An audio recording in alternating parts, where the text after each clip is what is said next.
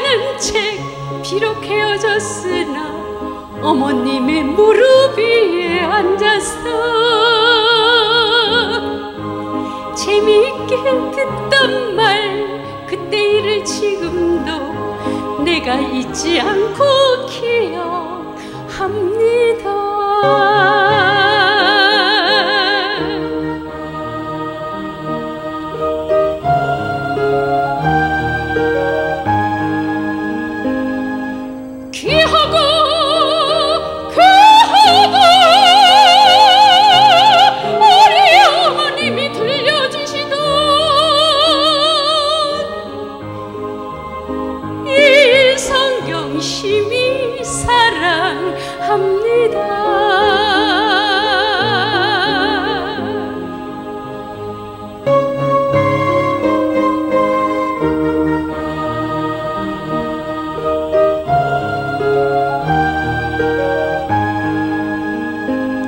귀하고